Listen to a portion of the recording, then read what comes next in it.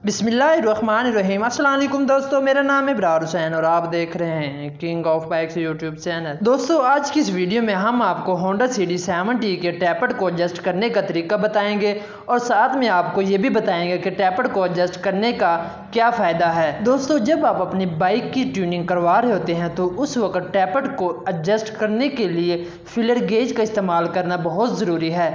Filler gauge से टैपट करने से एक तो आपकी बाइक की पिकअप में इजाफा आ जाता और है। और बाइक स्लो भी खड़ी नहीं होती। और दूसरे नंबर पर आपकी बाइक कभी भी गर्मी नहीं करेगी और फ्यूल की जो एवरेज है वो डिस्टर्ब भी नहीं होगी। टैपट को एडजस्ट करने के लिए सबसे पहले आपने मैग्नेट को घुमाकर टी के निशान पर लेकर आना है और उसके बाद फिर आपने टैपट को एडजस्ट करना है। अक्सर मैकेनिक बाई फिलर गेज का इस्तेमाल नहीं करते वो सिर्फ़ हाथ की मदद से टैपट को एडजस्ट कर देते हैं। अभी आपके जहन में ये सवाल आ रहा होगा कि फिलर गेज को फिलर गेज क्यों कहा जाता है? टैपट को चेक करने के लिए जब आप फिलर गेज का इस्तेमाल करते हैं तो उसके अंदर से जो रगड़ की फीलिंग आती है तो उसको फिलर गेज कहा जाता है। अगर आपके पास चाइना की कोई भी बाइक है तो आप इस फिलर गेज का इस्तेमाल ना ही करें तो अच्छा है। अगर आप फिलर गेज का इस्तेमाल कर लेते हैं तो आपकी बाइक के टैपर बहुत ज़्यादा आवाज़ करना शुरू कर देंगे। इसके रिलेटेड भी मैं एक वीडियो जल्द अपलोड करूँगा। इन आप विज़िट कीजिएगा, आपको बहुत फ़ायदा होगा। क्योंकि जब टैपट की एडजस्ट अच्छे तरीके से नहीं की जाती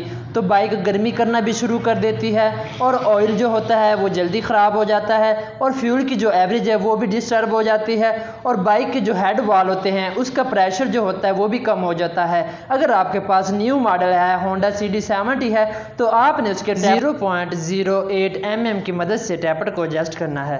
वीडियो अगर आपको अच्छी लगी हो तो लाइक शेयर ज़रूर कीजिएगा। अगर आपने हमारे चैनल को सब्सक्राइब नहीं किया तो प्लीज़ सब्सक्राइब कीजिएगा और बेल आइकन को प्रेस कीजिएगा ताकि मेरे हर आने वाली नई वीडियो सबसे पहले आपको मसूल हो। मिलते हैं नेक्स्ट वीडियो में।